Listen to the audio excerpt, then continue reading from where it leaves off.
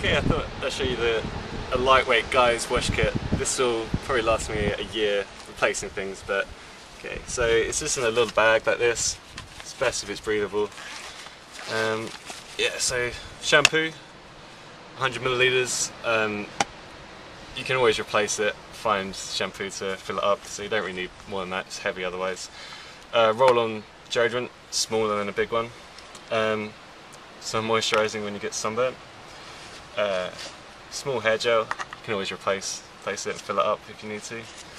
Um, yeah, toothpaste, toothbrush. Uh, toothpaste, and I always try and look for one that's got a screw cap because the amount of times that they explode otherwise. So, yeah, Arm & Hammer, good one. Uh, so this is a razor, but um, it used to be a big, lot bigger and a lot more metal, so I've just trimmed it down. It may seem extreme, but it's normally worth it. You don't need a whole razor, and um, it's definitely better to have a proper razor rather than uh, 10 disposables. This is a, yeah, and um, I've got quite a few spare spare blades. Should last six months with six blades. Um, travel plug, uh, for when you get to hostel and you can't um, fill up the sink to do some washing. And uh, this is always good, a shaving oil.